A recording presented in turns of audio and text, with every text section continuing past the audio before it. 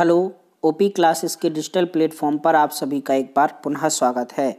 आज हम लोगों को पढ़ने हैं उनतीस तीस नवंबर 2020 के मोस्ट एक्सपेक्टेड करंट अफेयर्स तो चलिए शुरू करते हैं और देखते हैं पहला प्रश्न। पहला प्रश्न है, भारत सरकार द्वारा ट्रांसजेंडर व्यक्तियों के लिए राष्ट्रीय पोर्टल लॉन्च किया गया है। इस पोर्टल को किस रूल के तहत विकसित किया गया है?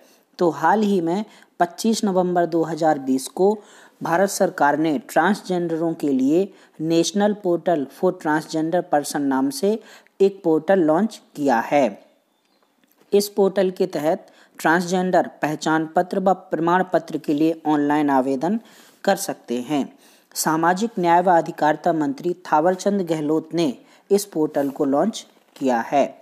बात की जाए ट्रांसजेंडरों की तो 15 अप्रैल 2014 को भारत में तीसरे लिंग को मान्यता प्रदान की गई थी। वर्ष उन्नीस में मध्य प्रदेश से सबनम मौसी पहली ट्रांसजेंडर विधायक बनी थी। चलिए, देखते हैं हमारा आज का दूसरा प्रश्न। दूसरा प्रश्न है, थावरचंद गहलोत ने किस शहर में Garima Greh, a shelter home for transgender persons का उद्घाटन किया है? तो हाल ही में थावरचंद गहलोत ने ट्रांसजेंडरों के लिए एक ऑनलाइन पोर्टल लॉन्च किया तथा a shelter home for transgender person नाम से गरिमा ग्रह का उद्घाटन गुजरात के बड़ोदरा में किया है। चलिए देखते हैं हमारा आज का तीसरा प्रश्न। तीसरा प्रश्न है, पीएम मोदी ने हाल ही में तीसरे global renewable energy investment re invest यानी आर ई इन्वेस्ट 2020 का उद्घाटन किया है। आर ई इन्वेस्ट 2020 के लिए विषय क्या था? तो हाल ही में 26 नवंबर 2020 को भारत के प्रधानमंत्री श्री नरेंद्र मोदी ने तीसरे ग्लोबल रिन्यूएबल एनर्जी इन्वेस्टमेंट का उद्घाटन किया है, जिसका विषय था innovation for sustainable energy transition, यानी सस्टेनेबल एनर्जी ट्रांजिशन के लिए नवाचार। यह तीसरा वैश्विक नवीकरणीय ऊर्जा निवेश से संबंधित उद्घाटन था। इसके पहले इसका पहला आयोजन वर्ष 2015 में तथा दूसरा आयोजन वर्ष 2018 में किया गया था।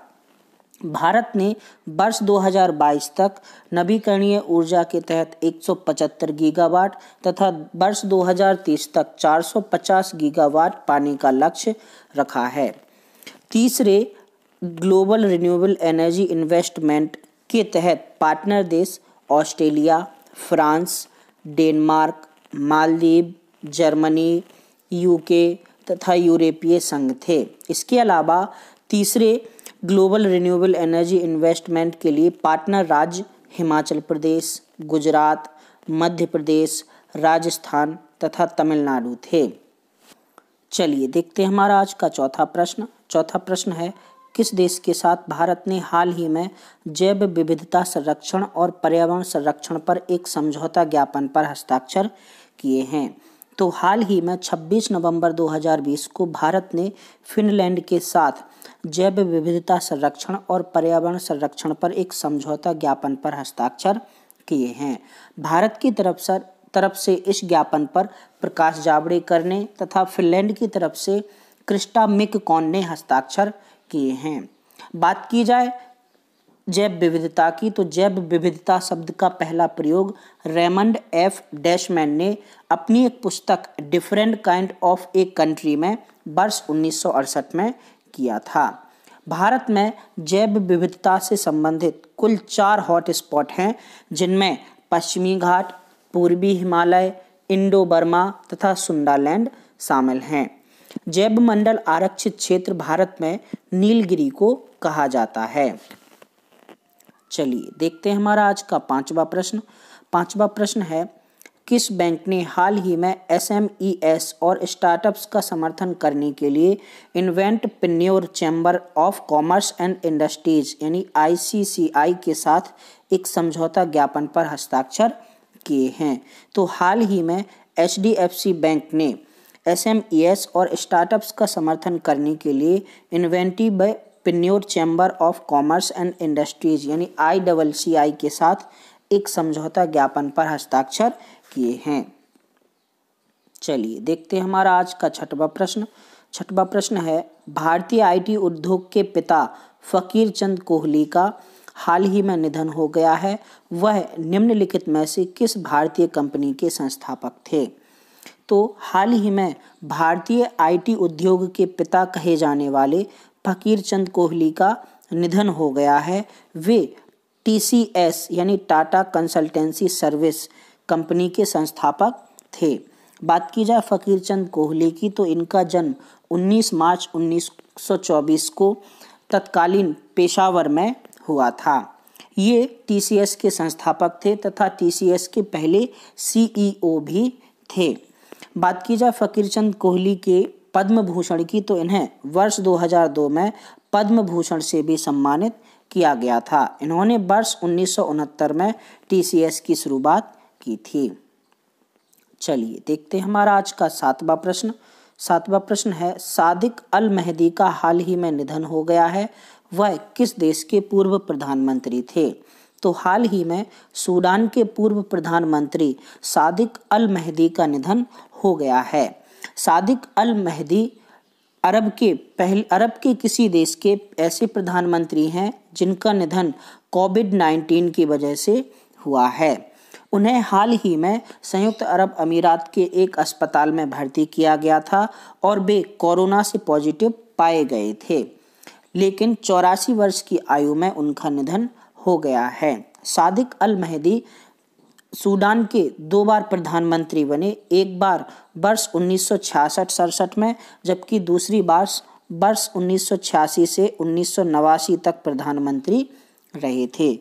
उन्नीस सौ नवासी में सादिक अल मेहदी को सेना ने सत्ता परिवर्तन करके उन्हें उनके पद से हटा दिया था। चलिए देखते हैं हमारा आज का आठवां प्रश्न। आठवां प्रश्न है, जेम्स बॉल फैंसन का हाल ही में निधन हो गया है। वे निम्नलिखित में से किस संगठन के पूर्व अध्यक्ष थे? तो हाल ही में विश्व बैंक के पूर्व अध्यक्ष जेम बॉल फैंसन का निधन हो गया है। वे वर्ष उन्नीस सौ पंचानवे से वर्ष 2005 तक 10 वर्ष के लिए विश्व बैंक के अध्यक्ष थे। जेम्स बॉल फैंशन का जन्म ऑस्ट्रेलिया में हुआ था, लेकिन उन्होंने अमेरिका की नागरिकता वर्ष 1980 में ग्रहण कर ली थी। जेम्स बॉल फैंशन वकील, इन्वेस्टमेंट बैंकर तथा अर्थशास्त्री थे। वे विश्व बैंक के नौवे अध्यक्ष बनाए गए थे। वर्ष उन्नीस सौ छियानवे में जेम्स बॉल फैंशन ने 27 सबसे गरीब देशों को तिरपन बिलियन डॉलर का ऋण मुहैया कराया था। बात की जाए विश्व बैंक की तो विश्व बैंक की स्थापना वर्ष 1944 में हुई थी। इसका मुख्यालय वॉशिंगटन डीसी में है। वर्तमान में विश्व बैंक में एक सौ नवासी सदस्य देश हैं, जबकि विश्व बैंक के वर्तमान अध्यक्ष डेविड मालपास हैं। चलिए, देखते हैं हमारा आज का नौवा प्रश्न। नौवा प्रश्न है, विश्व बैंक का मुख्यालय कहाँ है? तो विश्व बैंक का मुख्यालय वॉशिंगटन डीसी में है। वॉशिंगटन डीसी में डीसी का full form district of Columbia होता है। चलिए देखते हैं हमारा आज का अंतिम प्रश्न। अंतिम प्रश्न है, किस राज्य सरकार ने राज्य में महिलाओं के लिए WhatsApp helpline seven eight seven five seven five six one double seven की शुरुआत की है? तो हाल ही में गोवा राज्य में महिलाओं की सुरक्षा के लिए व्हाट्सएप हेल्पलाइन नंबर अठहत्तर पचहत्तर पचहत्तर, इकसठ सतहत्तर की शुरुआत की है। बात की जाए गोवा राज्य की तो गोवा राज्य के वर्तमान मुख्यमंत्री प्रमोद सावंत हैं, जबकि राज्यपाल भगत सिंह कोश्यारी हैं। गोवा क्षेत्रफल की दृष्टि से भारत का सबसे छोटा राज्य है, जबकि जनसंख्या की दृष्टि से चौथा सबसे छोटा राज्य है। गोवा पर 450 से अधिक वर्षों तक पुर्तगालियों ने कब्जा कर रखा था, लेकिन 19 दिसंबर 1961 को पुर्तगाली भारतीय उपनिवेश को गोवा को सौंपकर चले गए थे। गोवा की राजधानी पणजी है, जबकि गोवा का सबसे बड़ा नगर बास्को डी गामा है। 1510 ईस्वी में पुर्तगालियों ने यूसुफ आदिल शाह से गोवा को छीना था, जबकि वर्ष उन्नीस सौ सतासी में गोवा भारत का पच्चीसवा राज्य बना था। चलिए, देखते हैं हमारा आज का क्वेश्चन ऑफ़ द डे 30 नवंबर 2020 का क्वेश्चन ऑफ़ द डे है, सूडान की मुद्रा क्या है? लीरा, पौंड, रुफिया या फिर रियाल? इसके अलावा सेशन ऑफ़ द डे का क्वेश्चन है, भारतीय आईटी उद्योग के पिता कहे जाने वाले फकीर चंद कोहली का निधन हो गया है। इन्होंने किस वर्ष टीसीएस की शुरुआत की थी। दोनों प्रश्नों के जवाब आपको नीचे कमेंट बॉक्स में कमेंट करके बताने हैं। 28 नवंबर 2020 का क्वेश्चन ऑफ़ द डे था, किस भारतीय राज्य को गॉड्स ऑन वन कंट्री के नाम से जाना जाता है? तो भारत के केरल राज्य को गॉड्स वन कंट्री कहा जाता है। सही उत्तर देने वालों में शामिल हैं नरेंद्र, सोनाली, बीरेंद्र तथा अंकिता। सभी को बहुत बहुत बधाई।